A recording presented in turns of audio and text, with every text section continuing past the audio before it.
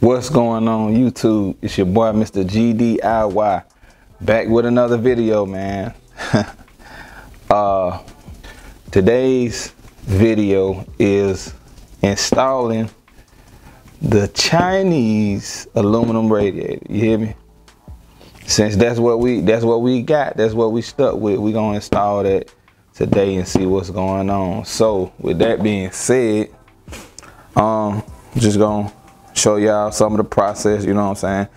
Hopefully some of y'all know how to install a radiator. Some of y'all might not, but this is what we doing, man. So let me show you what I got going on. All right, so yeah, got my light set up so I can try to show you guys what's going on. This is the old um, radiator I had.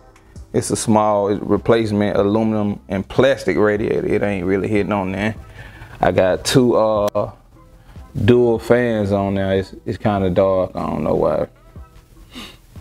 But anyway, it's kind of dark. Got two dual uh, radiator fans from uh, Concord, an old, older Concord. So um, I'm gonna remove all of this and install the new Chinese aluminum radiator. But first I gotta drain my radiator, so I got a bucket down now. So we just gonna start with that. But y'all guys hold on for one second. All right, so yeah, we back. Uh, remove the radiator. Uh, still draining down there. Got coolant draining out the block. You see the color of that coolant?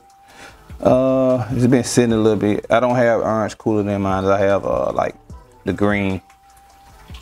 But anyway, we are looking good so far. So far so good man. Um like i say i gotta uh fix this connection right here. I'm um i gotta open it back up. I gotta splice it for the new fan. See how i'm gonna hook that up and um solder that you know. But otherwise everything looking good man. Yeah 6 uh like i say that coolant man I don't know what I'm gonna do with it. Uh, we're gonna see. But we looking good, man. I'm gonna cut y'all off and cut y'all back on in a minute. Let me um get a little more situated. Cut you back on. All right, so yeah, it's been a minute. Um, YouTube, we back. I had to run to the store with my wife, all kind of crap. But anyway, this is where we at right now. Um, I actually got the radiator back in. I gotta um, wire the fans up and fill it with coolant. Uh, also another thing, I put the um, down in here is where the thermostat goes. Where my finger pointing at, it's a little thermostat right there. Anybody know about LS engines? This is thermostat housing. Thermostat goes in there. I put a 160 um, in there. So that should help it cool down. I took my um, loom off of my, my wires I got here for the fan. I had it wired to the old electric fan right here. This is the old setup. So I'm gonna snip these two lines. I already got my, I got relays set up, two relays for two fans. You guys look up um, the fan relays if you want to double relay them, that's what I got.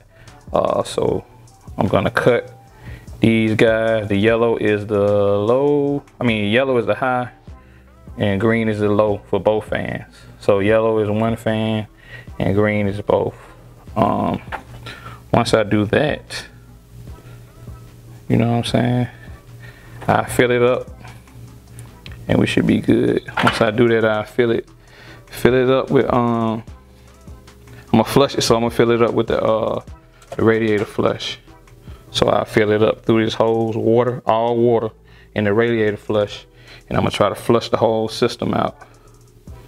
Uh, it won't be on this video, but I'm gonna flush the whole system out. And then I'll fill it up with coolant and we'll be done. But let me go ahead and wire these um, fans up and I'm gonna cut y'all back on in a second. All right, so yeah, YouTube, we are back. As I said, we got the radiator put together. It's on here. Um i did some wiring. This is how my wires look a little loose. I um what you call that?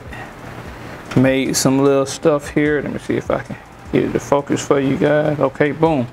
Made some little stuff here um heat streak heat shrink and made a little connection so I can be able to pull it apart.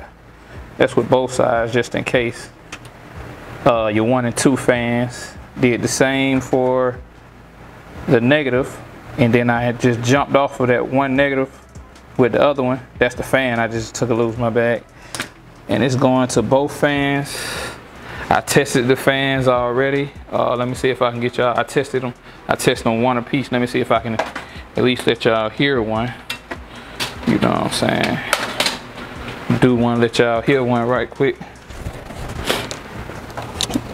so all you really do is when you um doing this fan you know uh I just got a negative got the negative hooked up already right? I just had a negative hooked up.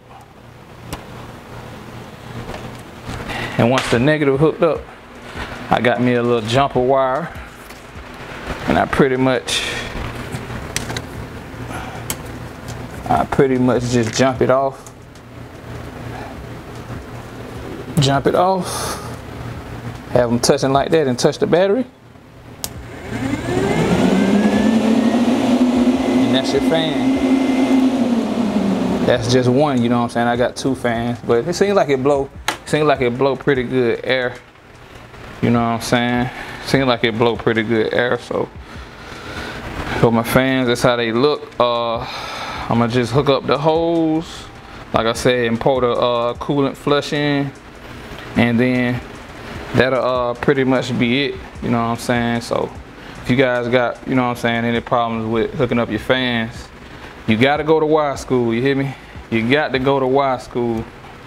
I uh, learned that from wire school. When I say Y school I mean going to do your research go on your forums man. Uh, uh, whatever forums you in go on your forums ask questions about your electrical uh, you know what I'm saying if you got questions I can help you you know what I'm saying a little bit but you pretty much want to learn your wiring I learned that uh, on my own, you know what I'm saying, and doing my research, so I had to go All right, so this the temporary setup.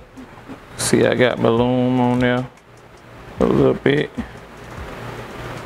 See my loom on there. I got it temporarily zip tied until I put the, um, get the little angles to hold them down. Hold it down. I got the holes held down for a little bit, but everything is up. You know, it got uh, coolant flush in it, steam port hooked up, everything pretty much good, man. And all that's left is just crank it up and I'm gonna flush the system. And you know, we'll go from there, but anyway, it's your boy Mr. GDIY, you know what I'm saying? Sometimes them shots get backed up and you don't know where to start. You gotta do it yourself. Let's get it. We out, man.